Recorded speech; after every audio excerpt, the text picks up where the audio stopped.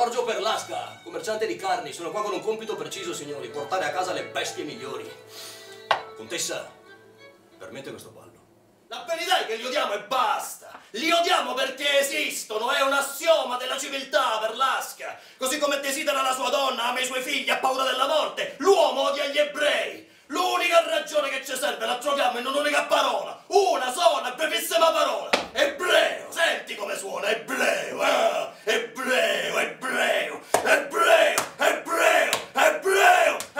Dice subito che non ha molto tempo da perdere, per Lasca lo tranquillizza dicendo che sarebbero bastati dieci minuti, Ghera gliene dà cinque, li faremo bastare, li faremo bastare. Con chi ho l'onore di parlare? Tenente colonnello Adolf Eichmann. Lei è il signor Perlasca. Jorge Perlasca, lavoro presso la legazione di Spagna, su incarico dell'ambasciatore. Sì, sì, questo l'ho capito. E su un'altra cosa che io vorrei fare chiarezza, signor Perlasca. Non ho potuto fare a meno di notare che fino al nome Wasserman lei ha seguito un preciso ordine alfabetico per riprendere poi invece a chiamare nomi a caso senza più rispettare tale ordine. Posso vedere la sua lista, per cortesia? Com'è che lei sa tutte queste cose? Com'è che lei non le sa piuttosto? I suoi documenti?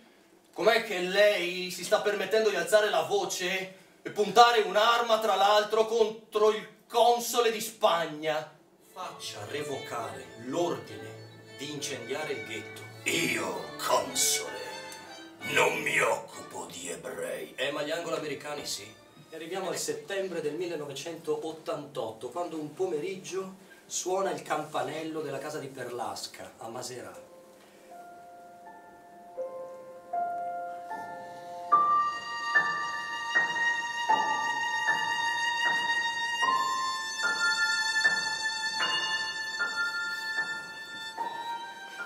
Sono i signori Lang, una coppia ungherese distinta, di 60 anni, poco più.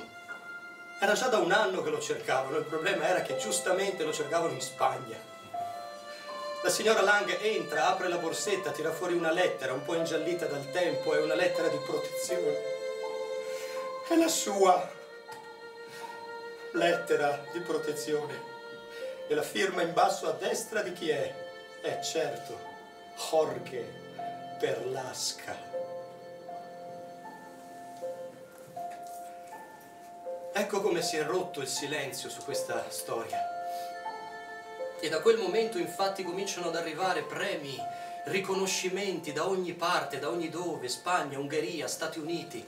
Il più importante sicuramente arriva da Israele che lo onora del titolo di giusto tra le nazioni e pianta un albero con il suo nome nel Viale dei Giusti a Gerusalemme.